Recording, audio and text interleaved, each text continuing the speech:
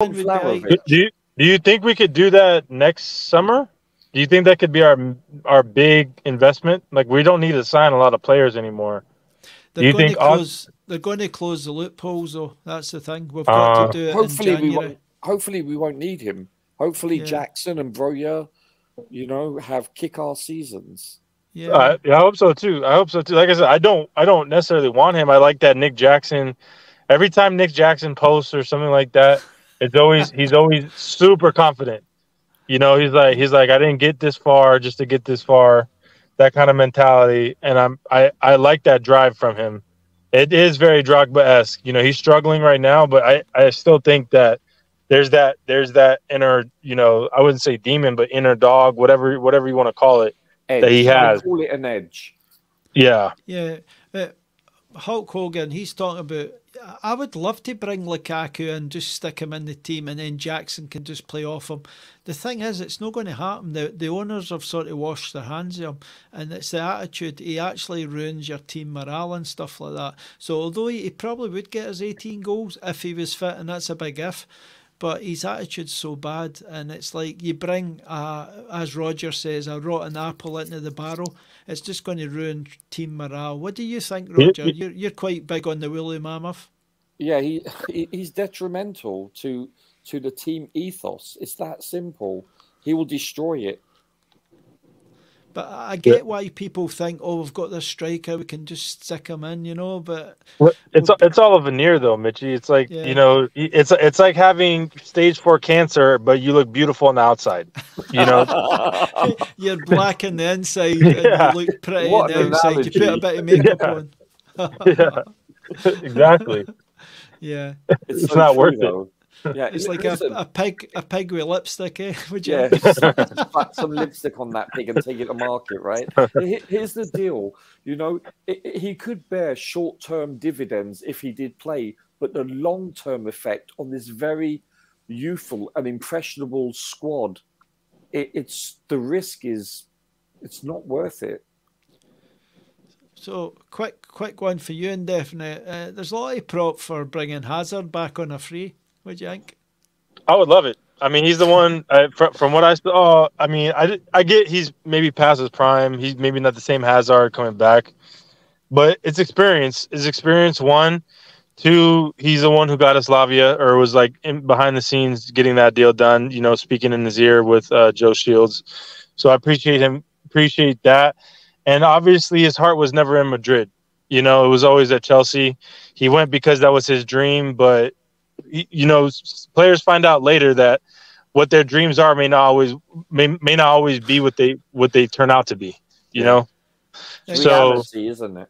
Yeah, he's a, he's a true blue. You know, he he loves Chelsea. That was probably his. That was probably the favorite time in his career was at Chelsea. He, he just had that Real Madrid dream. That was a problem, and yeah. obviously it turned into a nightmare. Uh, Tony's putting a bit of meat on the bones there. He's saying that Lukaku went to Inter and he took the wage cut the first year, but the second year he was wanting us to take the shortfall. So he was wanting us to pay the extra bit, but obviously we knocked that back. Roger. Yeah. There? Yeah, no, I'm here. Can you hear me? Yeah, yeah. Yeah, um, listen, this bloody woolly mammal. I, I, seriously, I, I will have a nice cold beer once he's sold. I cannot wait. I, I can't wait either. cannot, seriously, he, he he's he's like a bad girlfriend, isn't he? It's like yeah. texting yeah. you. seriously, can't we just block him? yeah. And innocent, uh, if you're a new subscriber in here, let us know where you're from, buddy. You might have been on that other night where it was uh, loads of new people on, but I can't remember seeing your name. If you're new in here, innocent, just let us know where you're from, welcome. buddy. I really appreciate it. Yeah, welcome. welcome. This is the uh, best. This is the best Chelsea channel on on, on YouTube. So just so you know. yeah, you you keep on us. saying that. here's a, here's because another, of Mitchy. Uh, yeah. Uh, hi, yeah, I, I agree with you, pal. it's not based on any facts, like, but anyway, we'll go with it. Uh, here's another new one as well. Sean Steer. He would do more damage than good. I agree. I agree, pal. Yeah. Uh, let us know where you're from, Sean Steer, and if, if you're a Chelsea supporter, because I don't recognise the name, buddy. Nice to see you in here. Uh, uh, do you think we might just go with Jackson, Broja, and Burstow? Uh, indefinite. You think we're just going to go with the two young boys and obviously the old the old codger of Jackson at 22. So, so what I think is, um, I still think uh, there's something ongoing with Toney behind the scenes. I, I wouldn't be surprised if Bro, Broja leaves if he doesn't get playing time and is not uh, being utilized uh, in the way he wants to be. Um, so I think we stick with Nick Jackson until January. Bring in uh, uh, Toney, um, and then have them, you know, competing for the same position. It's healthy competition. It would be good. Um, and and plus Jackson and a lot of other African players are going to be going to Afcon, so they're going to be away for about a month. So Four they could Apparently, apparently, it's only two games though. Uh, there must be an international break in the middle or something. I don't know what it is, but apparently it's only two league games. I heard that on uh, Lewis's channel today. I didn't know that. I, I, yeah, I didn't know that either. I thought it was a whole month. I thought it lasted like Uh, a uh, whole. Maybe be a month, but but it's only Oh, going we, to be we two have a winter games. break. I think we have a winter break now. That's what we? it is, then, guys. That's what it is. Oh, so it's two other weeks. Although, although the Afcon's on, and did I hear that this uh, new goalkeeper was the, like the best goalkeeper in the Afcon? I heard that. Is can I? s- Oh, does he play for No. America? Does America play No, in he, Afcon? he, no, of course not. That's African nations. That's what I um, thought. No, he he um Petrovic plays for Serbia, I think it is. Yeah, but is is he American? No, or does he play for? No, no, Serbia? he put Serbia. All right. I believe so. It's just I heard something. It's maybe that video you were talking about, the London podcast thing or whatever. Uh, London is blue. Uh, I, they mentioned something about he was a goalkeeper of some tournament. I thought it was AFCON or something like that. Is there another No, I- name similar to that where America plays in something? It could be the MLS Cup or something. I don't know. Oh, I don't know. Uh, I oh don't yeah, know. he's he's the number one ranked goalkeeper in the MLS, by the way. Oh yeah, yeah. Oh, that's Yeah. a, that's a big that's a big cup that one, eh? That'll be like a teacup that one. Hey, hey, but seriously, they produce Mickey great Mickey keepers. Mouse Farmers League. I think the only great talent that they really. I mean, I'm because I'm trying to think. You, you, uh, I- I'm Roger, ripping keep the saying they, piss out of your country there, mate. I don't know if you noticed that. Because I'm from Scotland, eh? Scotland's a farmer league as well. no, it's, it's okay. I mean, we're we're developing. I hope we bring more talent. Um, but yeah, I, I call the MLS. I, I've been to a couple of Timbers games. Uh, um, they're they're they're fun, but it's not the same atmosphere. Like I said, I went to the Chelsea game when they came out here in preseason. It's just completely different. You know, it's it's just European football is just at the at the highest it's ever been. So, and probably will ever be. But I think I think the the MLS is at least competitive now. Maybe they have some players that could translate in the Prem. I mean, you had um, uh, you have a bunch of American players going there, but they start in Europe usually in Germany, France, and they kind of transitioned to the Uh, Prem. uh, So And what happened with America is you, you you started with the Pelés, the Bobby Moores, and all that, and then you've you've changed it now. They're only allowed so many big players. This is what Roger's saying. They have so many big players that can put big money on. Then they have players on a different set of money, and then they're trying to bring loads of American players through. But I think these have also got players for like.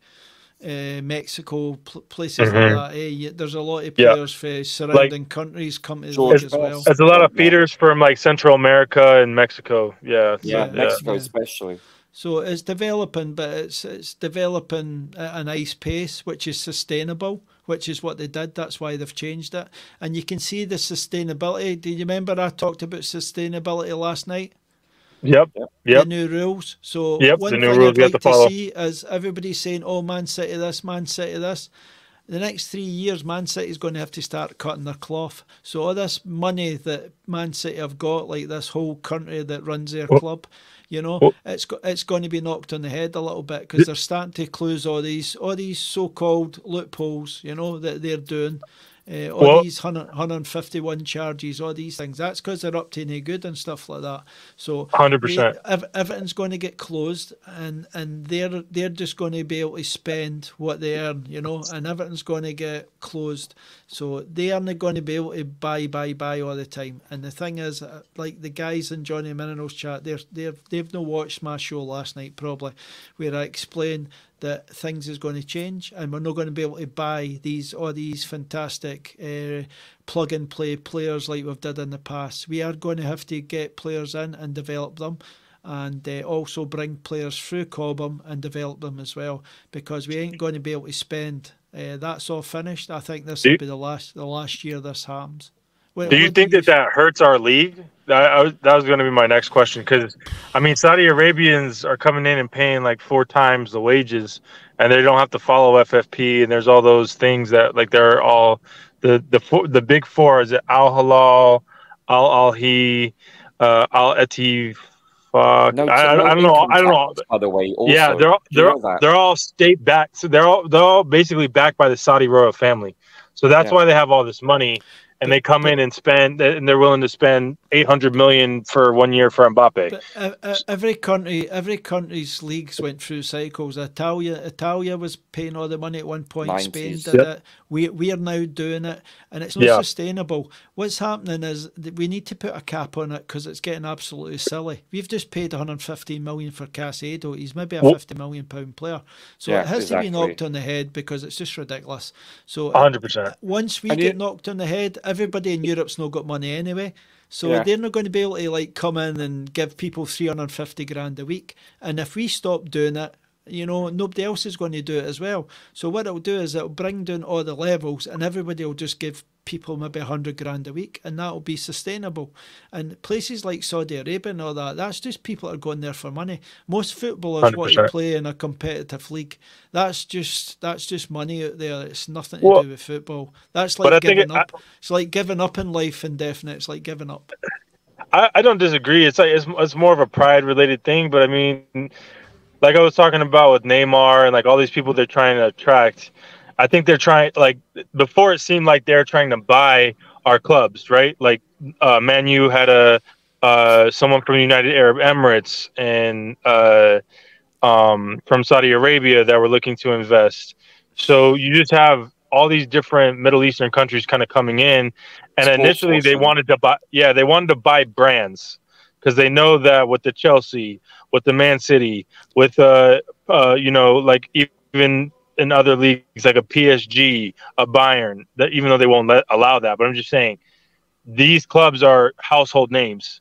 So if you come in and buy it, you know you're going to make your revenue back. You know, in, in a sense,